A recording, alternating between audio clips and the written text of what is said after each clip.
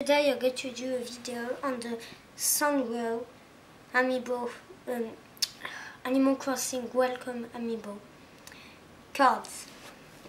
So there's the package. So there's six cards sold in the same pack. So you don't have to buy a lot of packs. You only need one pack to have the six cards. So I'm going to show you so, number one card, Rilla. Number two card, Marty. Number three card, Étoile. Number four card, Chai. Number five card Chelsea. And number six card Toby.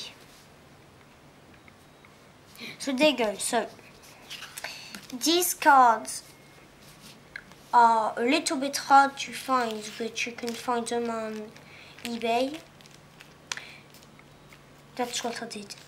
So they are compatible with Animal Crossing New Leaf Welcome Amiibo. Animal Crossing New Leaf, but you have to do the update Welcome Amiibo. Animal Crossing Home Designer. It is not compatible. And Amiibo Festival, it is not compatible. So they are only for New Leaf Welcome Amiibo. Don't try your Happy Home Designer and then Amiibo Festival. This won't work.